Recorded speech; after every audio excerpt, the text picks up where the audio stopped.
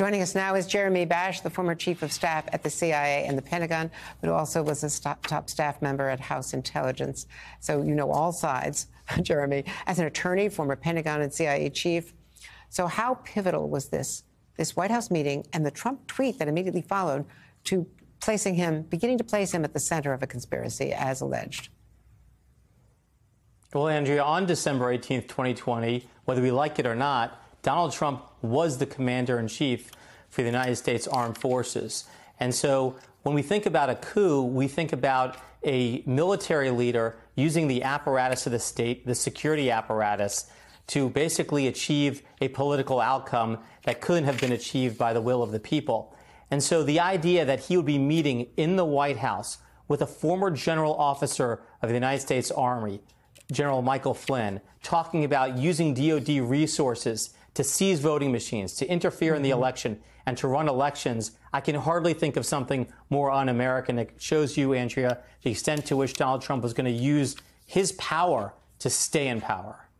You, it wasn't just seizing the voting machines that, that came up, reportedly based in what we heard from the hearing testimony. It was this idea of rerunning elections as a whole, Jeremy. I mean, just, just totally speculative baseless claims that they had been discussing here.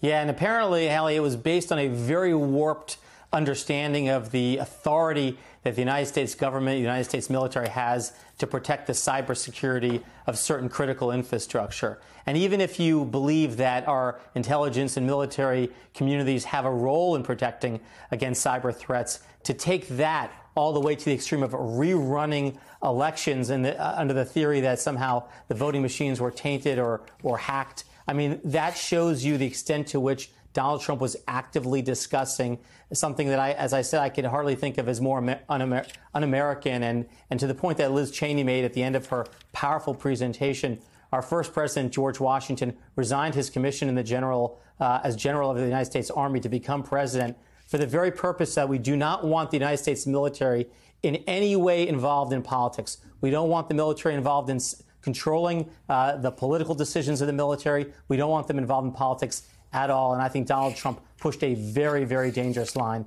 with what he did. So, Jeremy, looking forward, if Donald Trump run, runs again, say he wins again, and say there's a Republican controlled Congress with a lot of Trump sympathizers, and Donald Trump is able to install the people that he wants in cabinet positions for defense secretary. Um, and he ordered this sort of thing again.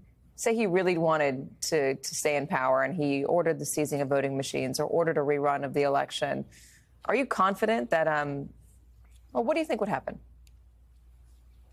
Yeah, uh, Katy, I have a very strong view. I know the character of the men and women who serve our nation in uniform as professionals in our intelligence agencies and in our Department of Defense. They would never never defy the oath that they also swore to our Constitution. They would never go along with such a coup plot. It, it, would just be an anathema. I think, frankly, you'd have an insurrection within the organization, mass resignation, and even mass opposition. I do worry, however, where I think you're also going is that if certain people are elected to Congress, and if the, uh, both chambers are in control of one party, whether it's a Republican control or Democratic control, I don't think we should have this crazy system under the Electoral Count Act where essentially a majority can block electors from being certified and things are remanded to the states. And that's why I think it's so important that a bipartisan group of senators are working right now to reform the Electoral Count Act because no matter what Donald Trump tried to do by force, if the next person comes along and tries to do it under the color of law or under some